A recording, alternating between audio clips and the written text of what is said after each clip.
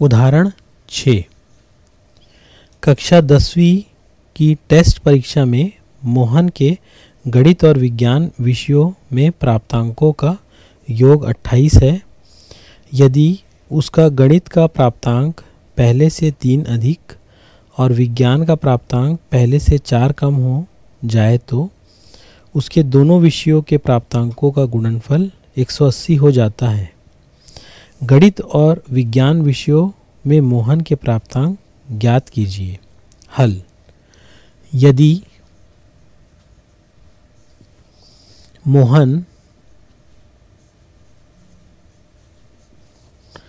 को गणित में एक्स अंक मिले एक्स अंक मिले हो तब उसके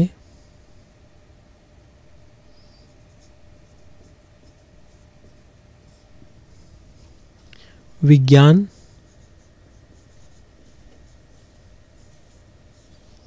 विषय के अंक बराबर 28 ऋण एक्स होंगे।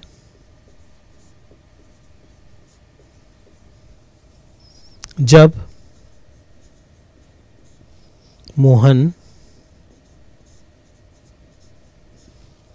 को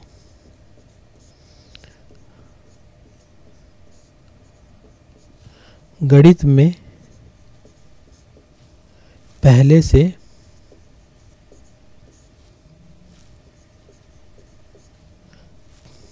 तीन अंक अधिक मिले।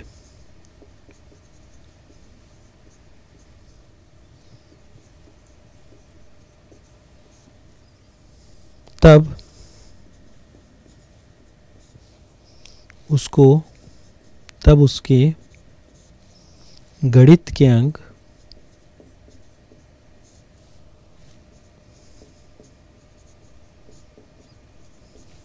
बराबर एक्स धन तीन होगा। और विज्ञान में पहले से चार अंक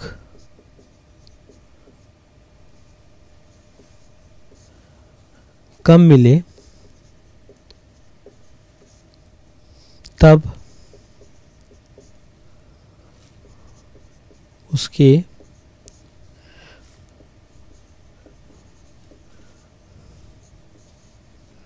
विज्ञान के अंक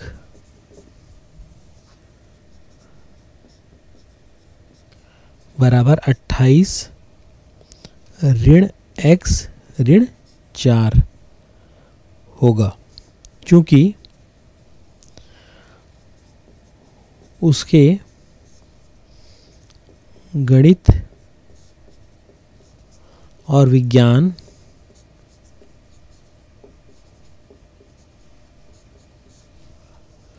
के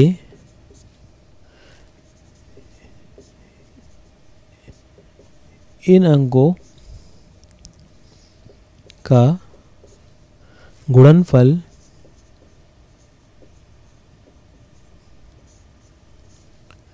बराबर 180 ये दिया है।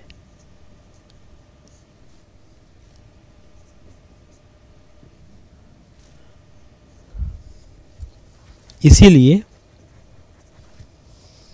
x धन तीन जब मोहन को गणित से पहले से तीन अंक अधिक मिले, तब उसके गणित के अंक एक्स धन तीन है और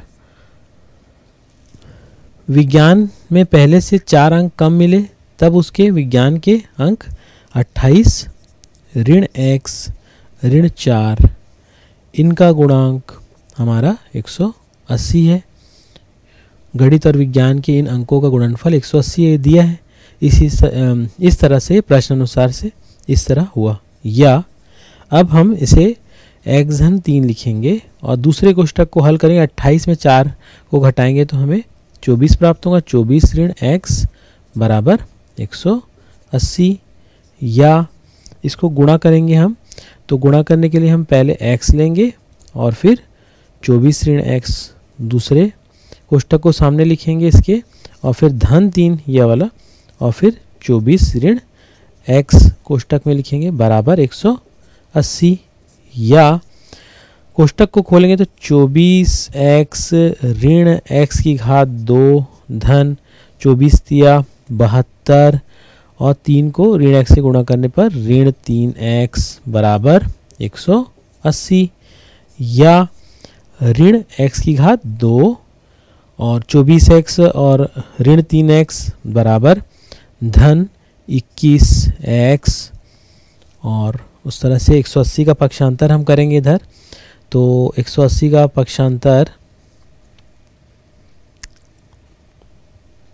करने पर हमें बहत्तर ऋण 180 बराबर ऋण 108 प्राप्त होगा, बराबर शून्य।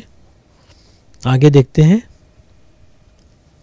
पिछले पृष्ठ में हमने देखा था, ऋण, x की घात दो, धन, इक्कीस एक्स ऋण एक सौ आठ बराबर शून्य। अब ऋण एक को दोनों पक्षों में ऋण एक से गुणा करेंगे तो हमें प्राप्त होगा एक्स की घात दो ऋण इक्कीस एक्स धन एक सौ आठ बराबर शून्य।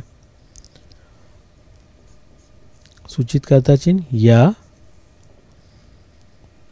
108 का हम गुणांक ज्ञात करेंगे, जिसके, जिसका योग ऋण 21 प्राप्त हो।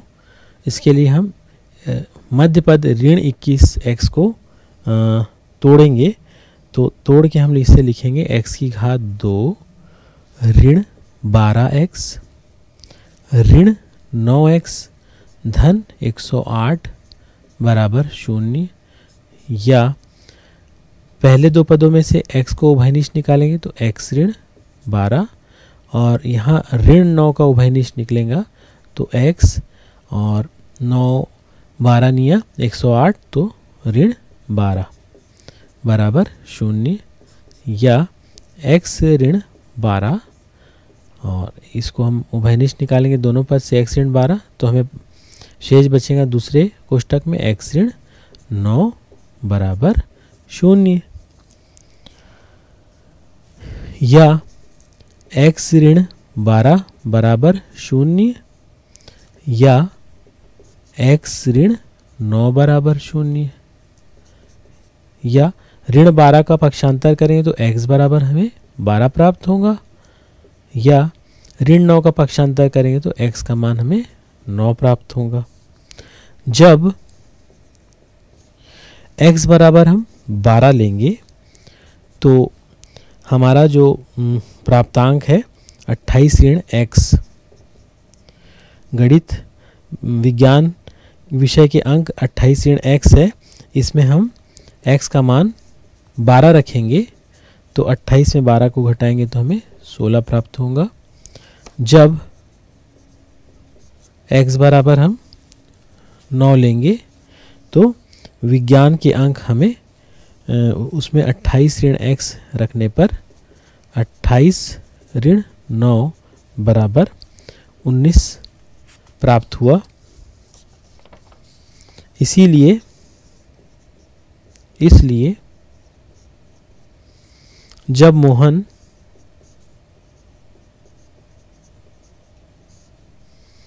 को गणित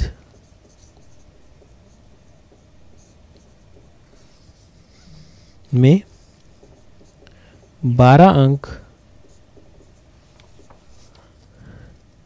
मिले हो तब विज्ञान में उसके प्राप्तांक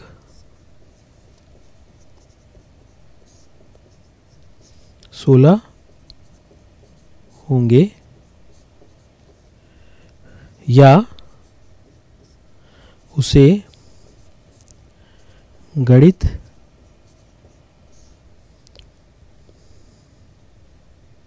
में नौ अंक नौ अंक नौ अंक मिले। मिले हो तब विज्ञान में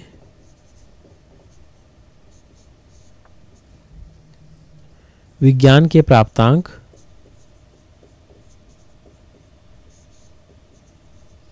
विज्ञान के प्राप्तांक 19 होंगे। तो यह हमारे उदाहरण का हल है।